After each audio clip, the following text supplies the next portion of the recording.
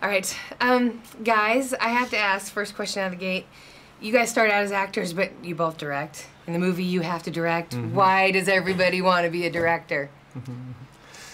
I, I, yeah, I, I personally find it very fulfilling to be involved in all aspects of a production and to have influence over it. You know, a lot of times as an actor, you're just there to do one job. You're, in, in many ways, just a vessel for the character, as opposed to really being able to communicate across all of the different storytelling devices, which is film and As shows. actors, we come on so late in the process. It's almost like the last thing that happens. Okay. You know, and as a director, you you plant the original seed.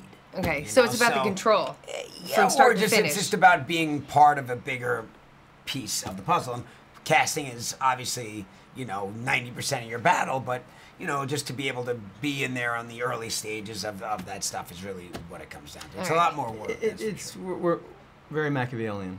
Okay.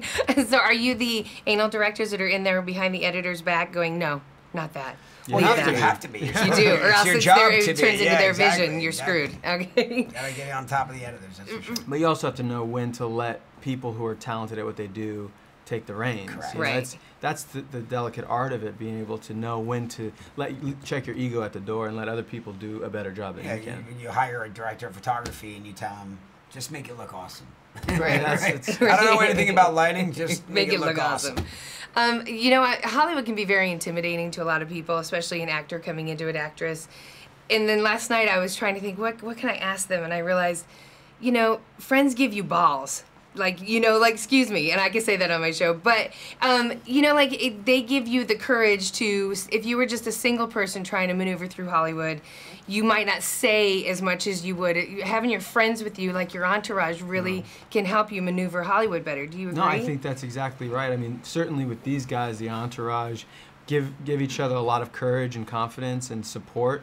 Uh, but And ex- different points of view as well. Yeah. Everybody's got a different point of view that weighs in and, you know, adds to the ultimate decision. Yeah, exactly. And the, and the extended family, the extended entourage, which include the fans, we the entourage gives them permission to step up and take risks and do things that they didn't think they could or would be allowed to. Right.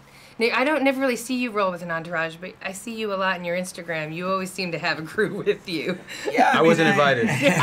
No, I mean, look, I, How dare know, you. I, I have, uh, you know, a group of friends. I moved out here many years ago, and just the same group of guys that have been running around together for a long time. Keeping so. you humble, just like yeah, the movie. exactly. And Adrian, since you are such an activist, I'm a volunteer at heart. Is it hard sometimes being in this world of excess Hollywood, and here you are over here, you know, with this message of of saving things and being an environmentalist? Do you ever just want to scream and go, "If you didn't buy another car that you're never going to drive, you could help me over here"? Do you ever get frustrated? No, I, I think it's important not to be too pure. You know, we live in duality, so we have to live and, and, and live well and enjoy our lives. And a, a good amount of healthy escapism is, is good. I mean, I, I, I really appreciate Entourage because it allows people to have a relief, you know, and have, you know, a moment of just where they don't have to think about the troubles of the world, but they can really just get excited about what's possible.